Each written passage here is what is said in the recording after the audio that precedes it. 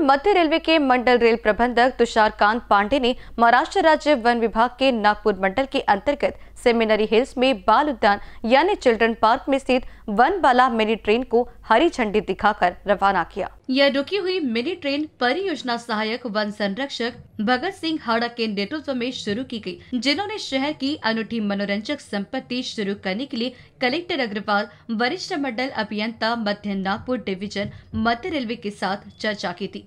इन चर्चाओं के परिणाम स्वरूप नागपुर कलेक्ट्रेट द्वारा महत्वपूर्ण धनराशि उपलब्ध कराई गई जिससे रेलवे विभाग के माध्यम से परियोजना के सुचारू कार्यान्वयन में मदद मिली। इस परियोजना में प्रथम अग्रवाल द्वारा किए गए असाधारण प्रयास विशेष सराहना के पात्र है।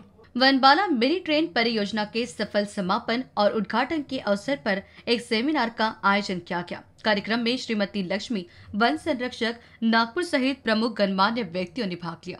डॉक्टर विपिन इटनकर कलेक्टर नागपुर भगत सिंह हाड़ा सहायक वन संरक्षक नागपुर और प्रथम अग्रवाल वरिष्ठ मंडल इंजीनियर मध्य नागपुर मंडल मध्य रेलवे अन्य विशिष्ट अतिथियों के साथ सुरम्य सेमिनरी हिल्स में स्थित वन वाला मिनी ट्रेन नागपुर के बच्चों के पार्क में एक आकर्षक और मज़ेदार आयाम जोड़ती है। यह परियोजना शहर की मनोरंजक सुविधाओं को बढ़ाने और पर्यावरण अनुकूल मनोरंजन को बढ़ावा देने के लिए वन विभाग, जिला प्रशासन और रेलवे विभाग के पेश सहयोगात्मक प्रयासों का एक प्रमाण है।